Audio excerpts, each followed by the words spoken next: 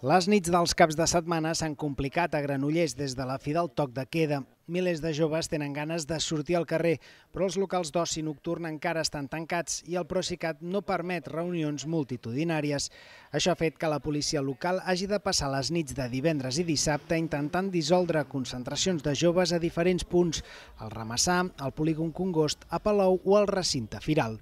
És com una rotació, no? Sigui, tu arribes al, a puesto, eh, parles amb ells, Normalment ens fan cas i, i dissolen aquesta concentració i marxen, però eh, quan nosaltres marxem es tornen a estar no? I, i anem com desplaçant eh, aquestes concentracions i, eh, i ens trobem també amb situacions residuals no? que van quedant també doncs, en petits punts a les botellades s'hi sumen concentracions de cotxes i fins i tot curses il·legals.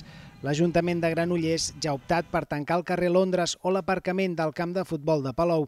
En algunes ocasions s'ha demanat el suport de Mossos i de policies locals d'altres municipis de l'entorn. Tenim eh, actuacions conjuntes amb, amb Mossos d'Esquadra i inclús també hem fet alguna actuació demanant recolzament a la policia, a policies locals d'altres poblacions.